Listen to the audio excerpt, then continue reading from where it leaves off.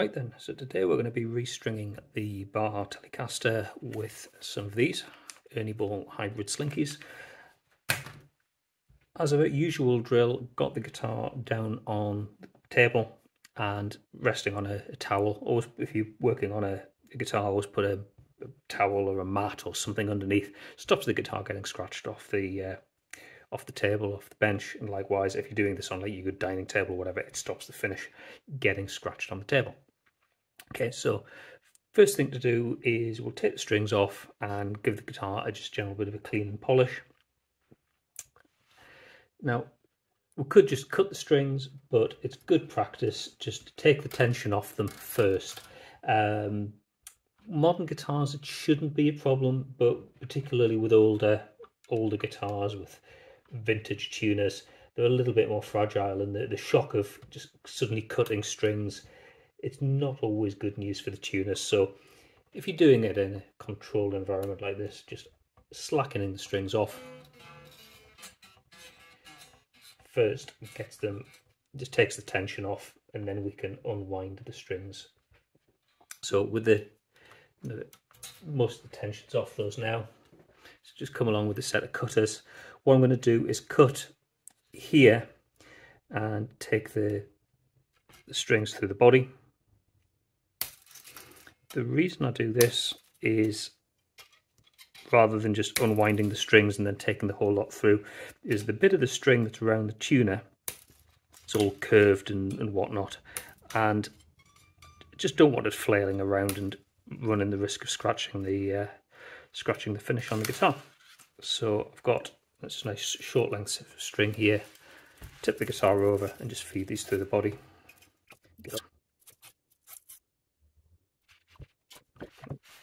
Down at the, the neck end, just unwind these. These are vintage style tuners.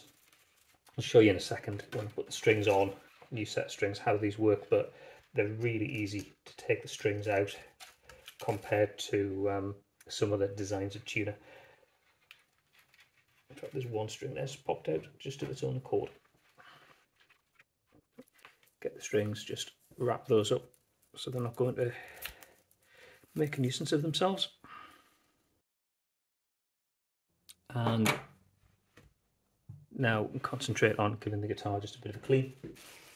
So, got duster, basically take the any extraneous muck and dust off, you know, all sorts of bits of ground edges of pick that's come off when I've been playing the guitar. Just clean off the, the dust. You know, the guitar's been on stand as well as a, just a bit of general household dust there. We'll give the fingerboard a proper clean in a second.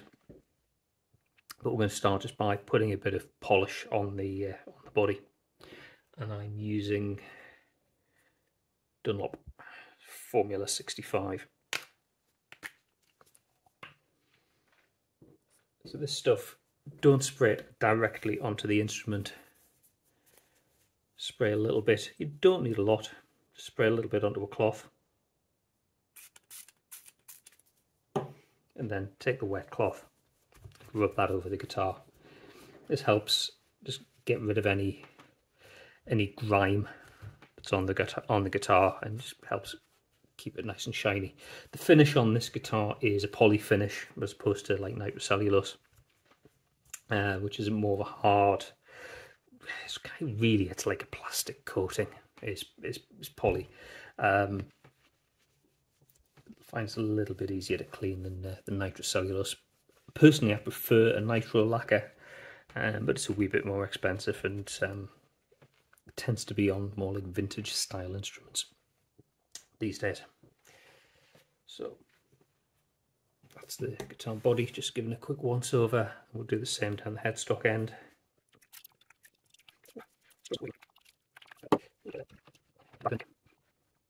Okay, so that's just a general cleanup on the body. What I want to concentrate on now is the fingerboard. Now I was just going to go along and clean and condition the fingerboard, but looking at the frets, these could be a little bit shinier. I don't know how well that's showing up on the camera, possibly not very well. They're a little bit tarnished, um, as, as happens. They've been, they're just looking at them, they're in decent condition. You know, I don't press down particularly hard with the strings. I've got quite a light touch. So there's not a lot of fret damage. I'm not bothered about uh, the general condition of the frets. I just think they could do with a bit of a cleanup. So what I'm going to do is get some some tape um, just to protect the, the fingerboard. Give the frets a polish, and then once that's done, we can get in and clean up and uh, recondition the fingerboard wood because this fingerboard is looking quite dry. So I'm just going to go and get some tape. So roll masking tape. Hoping I'm going to have enough. This roll is getting down. Basically what we're to do is just tape off the bits of the fingerboard that aren't frets basically. So just covering the wood. That means we can get in with some some polish and clean the uh, clean the frets up without marking the, the fingerboard too much. The polish I'm going to use, it does leave a tend to leave a little bit of residue, which I could clean it. It's you know it's it could be cleaned out of the the fingerboard, but it just seems to make sense to protect the fingerboard and save having to to do that cleanup job after the event.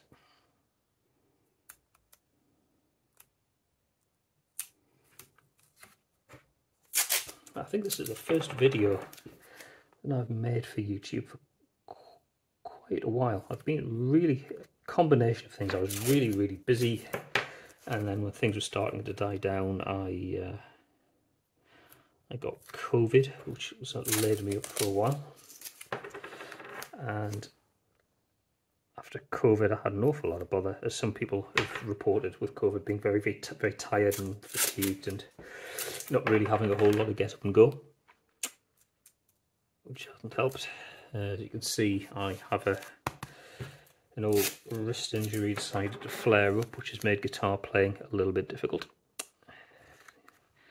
And uh, oh yes, I had had a bout of food poisoning last week as well, which I would absolutely not recommend to anybody. So yeah, not been a whole lot of fun in uh, PhatPhish HQ. So that explains the uh, the absence of videos recently and content on Facebook and Instagram and whatnot.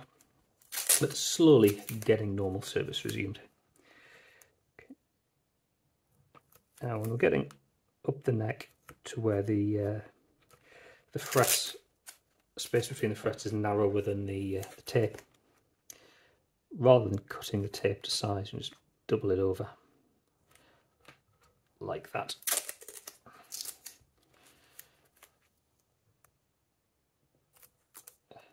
So we're covering the wood, but leaving the, the metal of the frets exposed.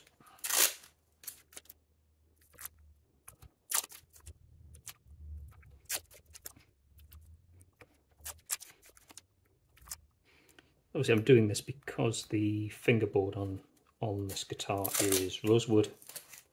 And so if you've got a guitar with a rosewood board or ebony, uh, pau ferro, laurel, you know, any of the sort of rosewood substitutes. Um, where it's unfinished wood, um, the fingerboard benefits from a, a, bit of cleaning and conditioning every so often.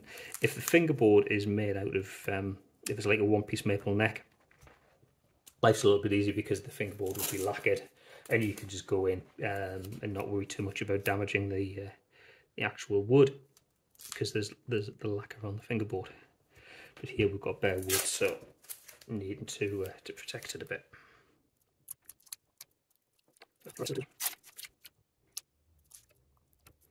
So this guitar do this. To be honest the strings weren't in desperate need of a change. There was still a little bit of life left in them, but I basically I noticed how dry the fingerboard was getting. So my main motivation for doing a bit of work on the guitar was more um, so I can get some conditioner onto the fingerboard and give it a, just a general clean up. I'm not particularly heavy in terms of you know in, in terms of my, my playing so strings generally do last me quite a long time um, you know, they don't they don't rust really quickly. I don't have particularly acidic sweat. I don't snap them very often because I'm not hammering them. I don't have particularly uh, hard um, playing action.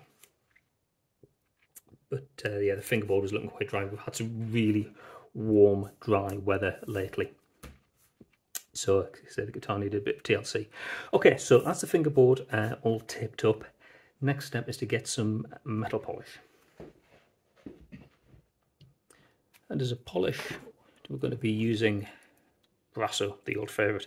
So this is basically a, a, liquid that has some abrasive particles in suspension in it. Uh, very effective metal polish. It leaves, like I say, a little bit of residue.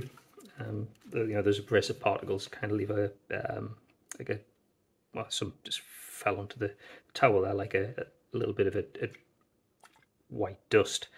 Um, God, does not smell particularly pleasant. Um, so the reason for wanting to put the for putting the um, the tape over the fingerboard was you know any dust that kicks gets left behind by the polish the little abrasive particles will go onto the tape rather than getting embedded into the, the grain of the wood on the fingerboard. So we just got the cloth soaked with the, the polish. Just go along the frets, just give them a good rub. Can see the, the dirt coming off there.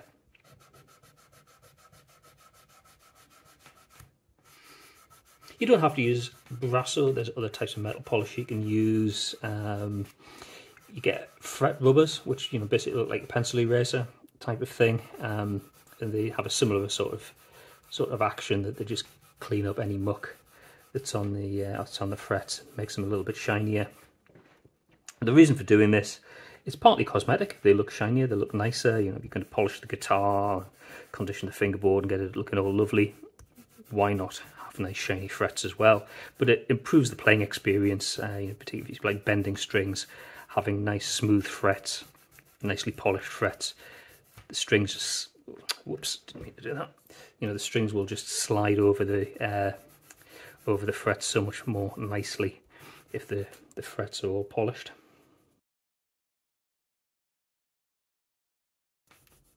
Okay, so that's the frets polished. I'm going to go and stick this in a bin because it stinks. Okay, so when that's done, we take the tape off the neck.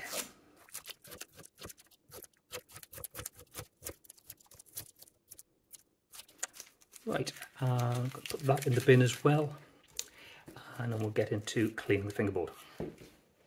Okay, so cleaning the fingerboard is two-stage process. What we're going to start off with is some lemon oil. Now, some people will say lemon oil, you can use that as a fingerboard conditioner.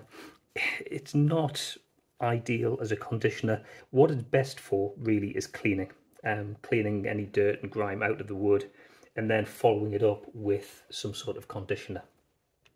So what I'll do is take that and just spray it onto the fingerboard.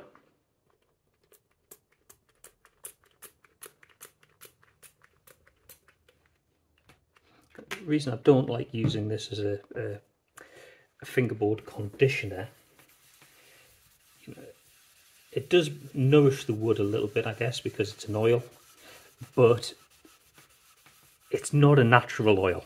You know, the only lemony thing about lemon oil is the artificial scent that's put in. It makes look at the dirt that comes off. Um, it's basically a mineral oil that has a lemon scent added to it.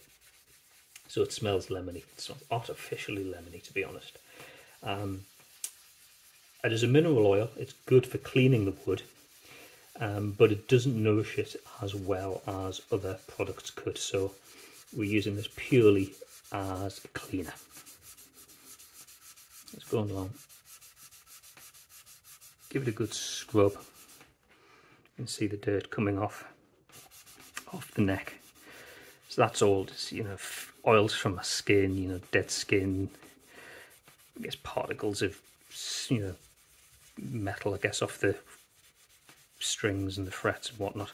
All nasty stuff that you don't want there. So the lemon oil helps to release those from wood and clean it up.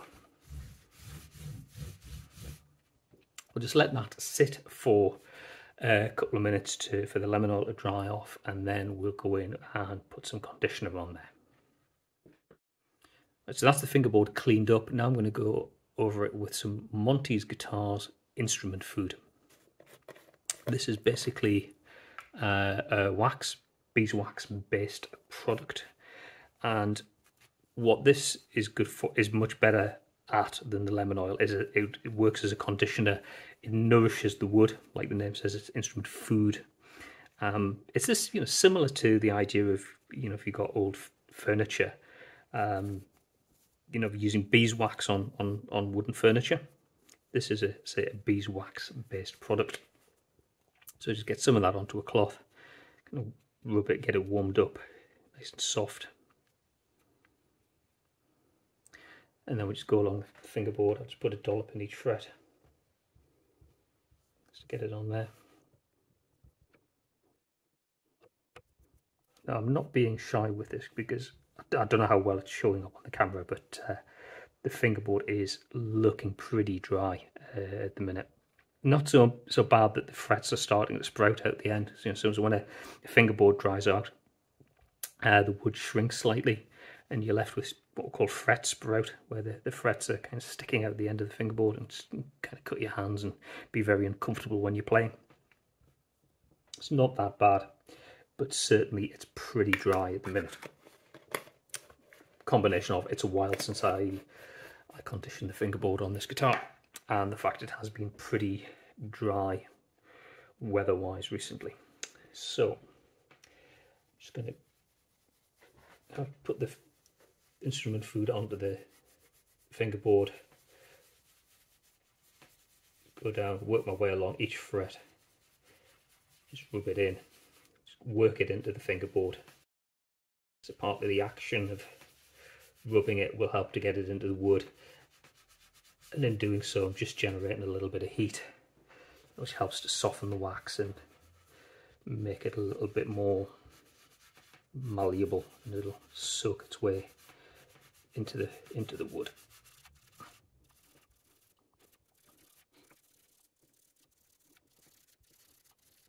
This is probably bouncing the camera around all over the place, so possibly not the most relaxing viewing experience. I apologise for that.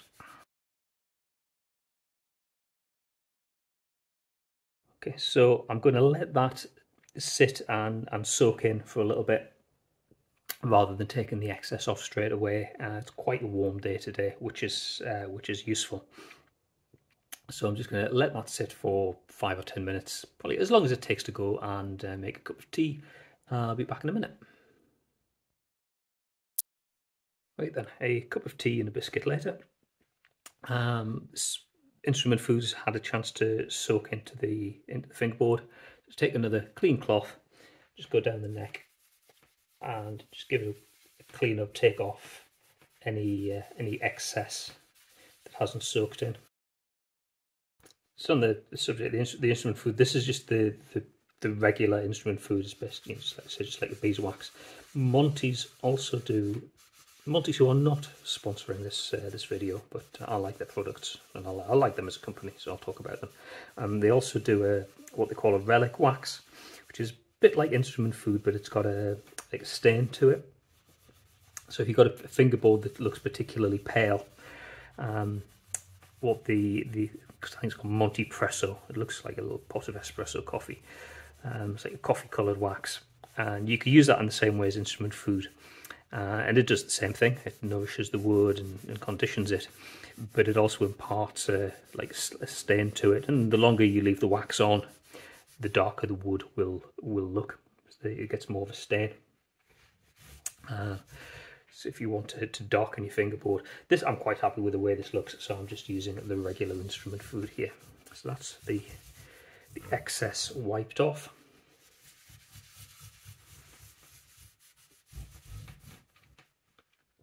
why it's good to, to change all six, all six strings at a time is you can get in and clean up the fingerboard and, and do all of this sort of stuff which you just can't do with uh, with all the strings when you're changing one string at a time. One last thing I'm going to do with the instrument food is just put some in the the nut slots.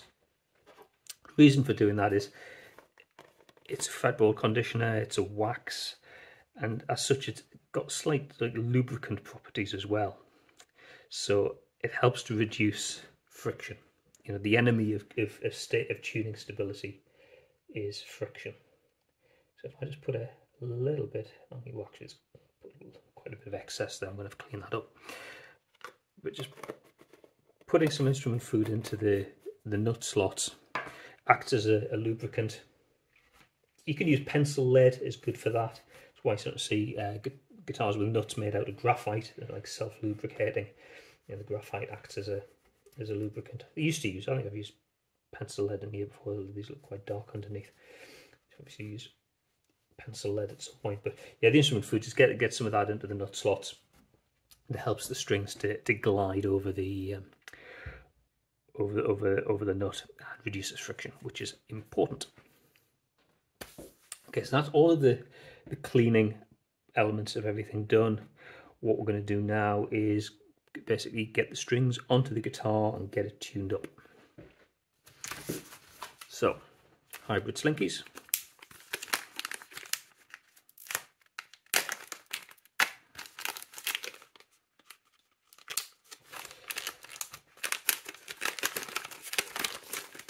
And start with the the bass strings, I think.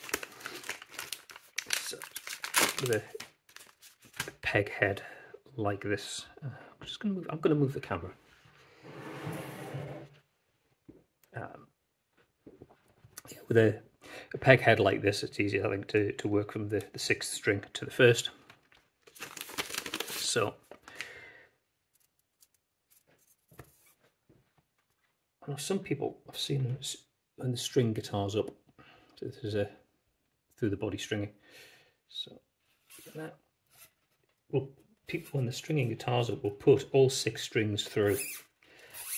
I prefer to just do one string at a time because you don't want the, like the, the five strings that you're not working on sort of flailing around and, and run the risk of scratching the finish. So we'll pull that through at the at the bridge, make sure it's it's come right the way through. And these are vintage tuners. Um, so what we've got is there's a slot there and in the middle of the slot there is a I'm going to see if I can zoom in a bit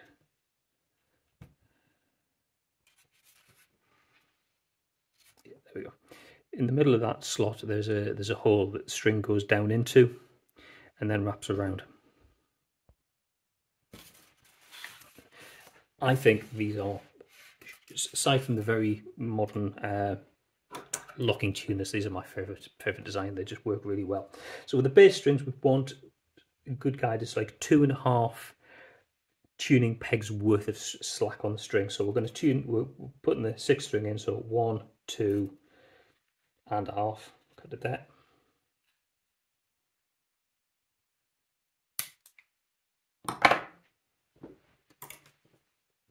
So the string goes down into that hole, bend it, see what I'm doing here, put that in, bend it at 90 degrees, and then wrap it around around the peg head.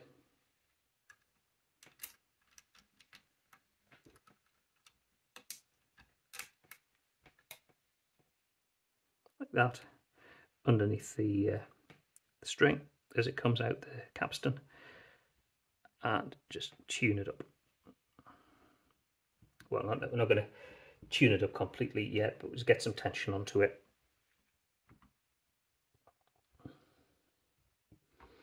So taking all six strings off the guitar, which is good because we can get in and, and clean the fingerboard.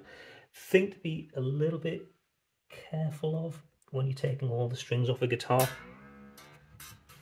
Um, I as I discovered uh, the other day, I was restringing my Les Paul. It's a particularly hot day. We've had some, we're having a bit of a heat wave in the UK, and um, particular day, I think it was, it was up into the 30s in this part of the world, which is pretty unusual. But I've taken all the, all the strings off the guitar, and uh, one, two and a half. Um, you put the fingerboard conditioner on, and it, I got sidetracked. I just basically sat probably with, with the strings off for a couple of hours or so. But even in that short space of time, just with the, I think the the temperatures we were having, it was enough to kind of relax the the, the truss rod. You know, it's, it's fighting against in, in here, it's fighting against the tension in the strings, and without the strings, the the way the truss rod was was basically curving the neck, it was enough for some of the frets to start actually lifting up ever so slightly. Um, it needed they needed hammering hammering back down, and that was in the space of like a couple of hours. So I guess just to be a bit mindful of if you are working on a guitar all the strings off on it's a, if it's a hot day. Don't leave the, the strings off for too long. Um,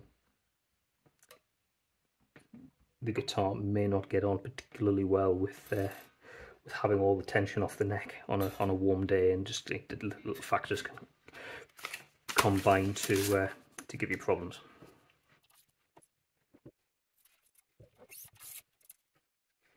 Nice thing about the uh, Telecaster is it's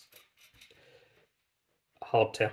hasn't got hasn't got a tremolo. Taking all six strings off a a tremolo equipped guitar, particularly something like a Floyd Rose, you know, makes this sort of job a little bit more arduous. But uh, with a, a hard tail,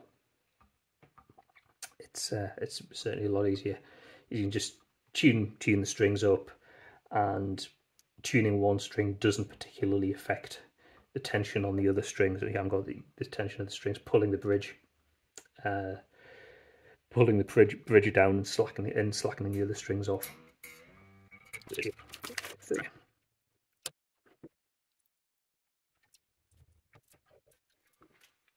On the plain strings, generally I would say rather than two and a half, maybe more like three tuning pegs worth of uh, slack on the string. So what they call round.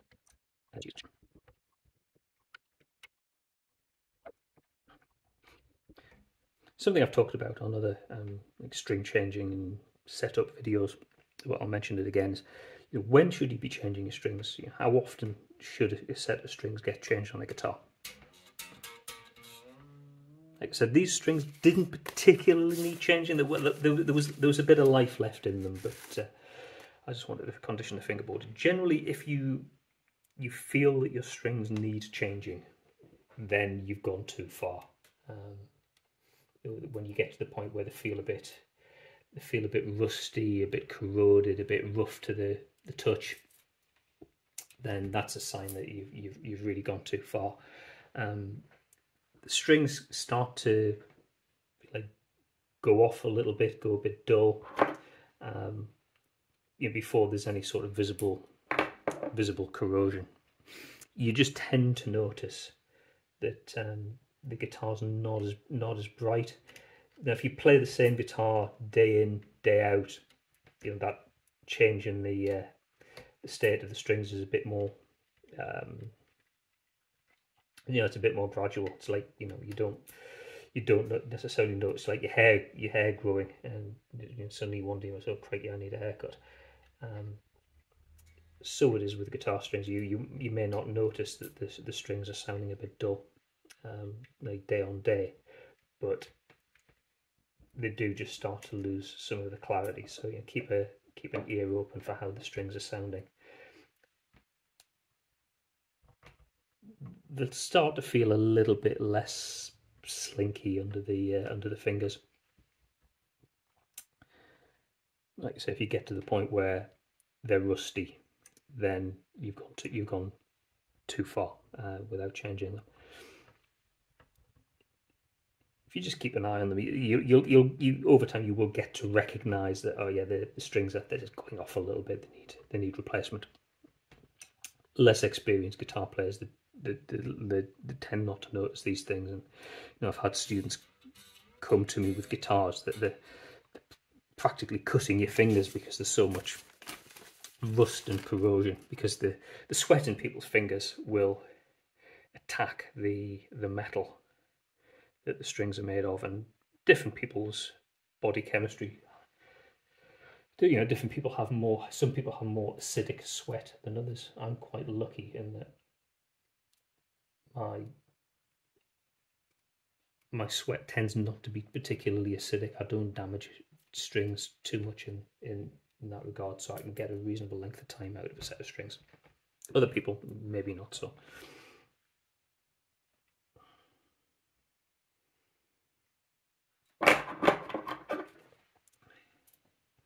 you know, if you're one of those unlucky people who you have quite quite acidic sweat, um, you know, you will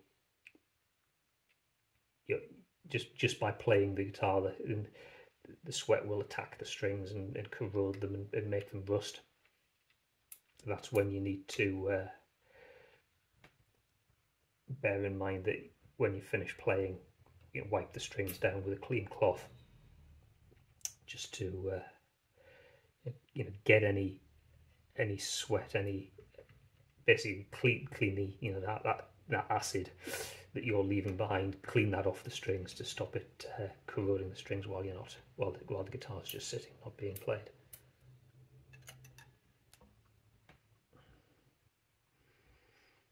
The older your strings are, it affects the sound quality, obviously, as the, the, the strings aren't as lively, and the strings just get weaker, and uh, there's a chance that more, more chance that the string will snap, particularly quite a quite a heavy-handed guitar player.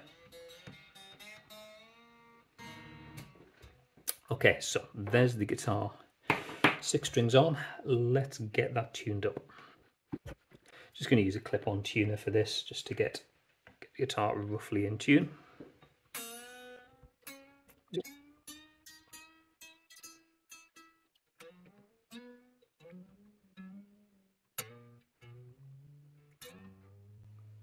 Go and get this roughly in tune because the strings will settle some people say the strings kind of need stretching and get under tension and stretch. It's not so much that they the stretch and kind of become you know become thinner.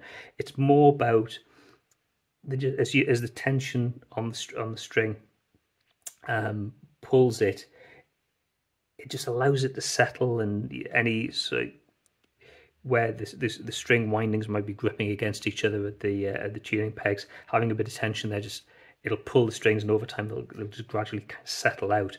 So the strings generally will go flat after you, you first tune them up.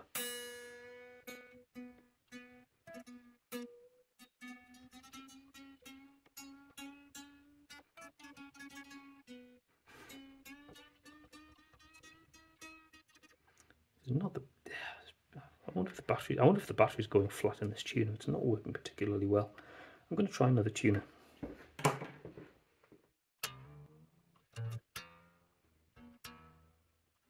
one thing I haven't done um, as part of this job was checking the neck relief. Um, basically, the guitar was playing fine, so you know the, the neck relief is how much curvature there is in the neck, the balancing the, the tension in the truss rod against the tension in the strings. Either put, you know, if the, the neck's got a bit of a crown on it or a bit of a bow, you need to adjust the truss rod. I'm not bothering with that because I'm changing string gauge like for like, so I'm not putting any changing the amount of tension that the neck's under. Uh, it's been playing fine. Uh, I just know from feel that I don't need to change that.